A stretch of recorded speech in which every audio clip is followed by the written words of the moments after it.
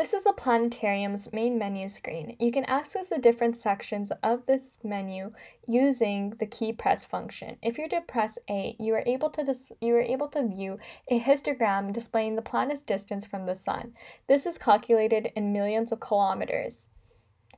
If you're to click the B key, you will be taken to a section that displays facts about the planets. You can access the different planets by clicking the keys 0 to 8, which would show you the different facts for the different planets. If you were to click the C key, you would be brought to a, a diagram of the solar eclipse, and you can change the stars in the background's colors using the RGB sliders. Finally, if you press the D key, you are brought to a display of the rocket ship flying through space. If you click M, you can pause it, and M again will allow you to return to the menu screen.